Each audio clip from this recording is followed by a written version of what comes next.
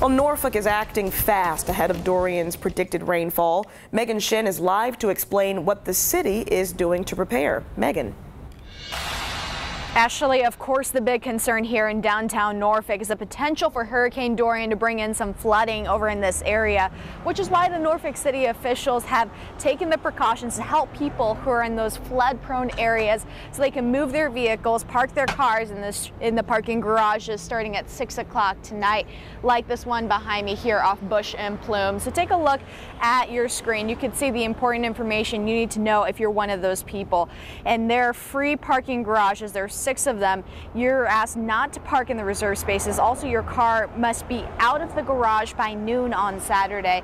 And you won't be able to get out and use Lime scooters or pace bikes during the storm either. The city is taking them off the streets so they won't fly around when the wind picks up. Scooters will be gone starting tonight. Pace bike shutdown already. That began at midnight. And of course, it's going to be a quiet time around downtown Norfolk tomorrow. We know that Old Dominion University as well as Norfolk Public Schools canceled all classes for tomorrow. Norfolk State University canceled evening classes tonight and classes for tomorrow as well. Live in downtown Norfolk, Megan Shin, 13 News Now. Okay, Megan, thank you.